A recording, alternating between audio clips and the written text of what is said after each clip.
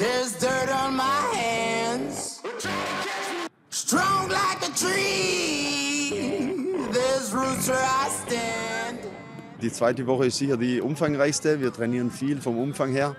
Wir haben gesagt, äh, anstatt äh, acht Tage Spanien machen wir jetzt drei Wochen Trainingslager in St. Gallen. Wir trainieren jeden Tag zweimal. Die Bedingungen sind gut, ja, weil wir auf dem Kunststraßen sind, auf denen wir ja auch zwei der ersten drei Spiele bestreiten. Deshalb ist eine gute Vorbereitung auf das, was in äh, zweieinhalb Wochen kommt. Es ist äh, ein gutes Gefühl, wieder zurück zu sein. Ja, die Stimmung ist gut, aber man merkt, dass, äh, dass jeder motiviert ist, ähm, die, ja, eine bessere Rückrunde hinzulegen, als wir die Hinrunde gespielt haben.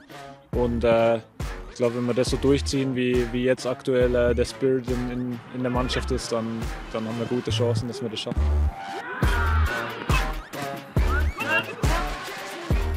Ja, wir haben unsere normalen Schwerpunkte. Der Schwerpunkt in der ersten Woche war sicher das äh, Spiel mit Ball, das schnelle Spiel. Äh, auch, dass wir uns äh, an den Kunstrasen gewöhnen, präzise spielen.